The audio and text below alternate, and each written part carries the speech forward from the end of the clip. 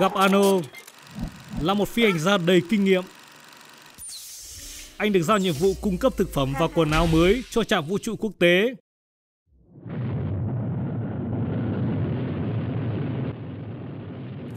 Ano, đừng ăn đồ ăn dành cho phi hành đoàn nữa. Anh ăn gì vậy? Đừng nói với mình, đây là bánh burrito tự làm.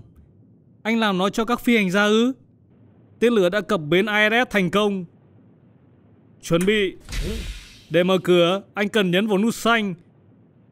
Trong 3, 2, 1. Nút màu xanh, ano, màu xanh lá. Mình nghi ngờ bất kỳ phi hành gia nào cũng chạy đến chỗ anh sau khi anh đi mà chẳng để lại đồ ăn. Anh có đủ không khí trong 8 giờ. Bằng cách nào đó trong thời gian này, anh phải tự mình lên ISS. Di chuyển cơ thể của anh sẽ không có tác dụng.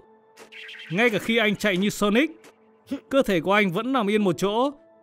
Vậy, đây là một số cách để di chuyển được trong không gian.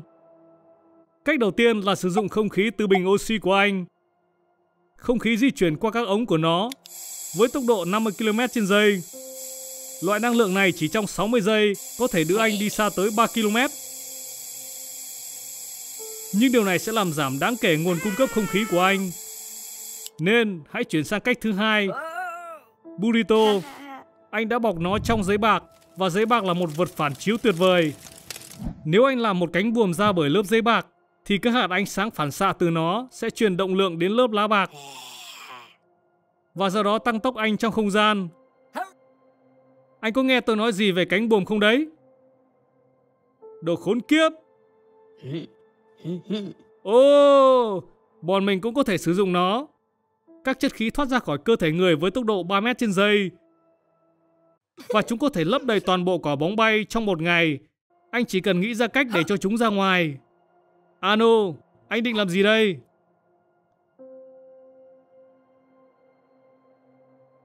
Anh đã ăn bao nhiêu burrito vậy?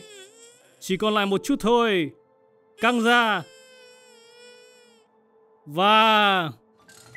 Anh còn nhớ chương trình Tình yêu, cái chết và robot không? Anh sẽ phải đứt tay đấy. Ok, hoặc chỉ ngón tay thôi. Anh chỉ còn 3 mét nữa. Tách một phần của bộ đồ và ném nó theo hướng ngược lại. Nó sẽ đẩy anh về phía trước. Ô! Oh.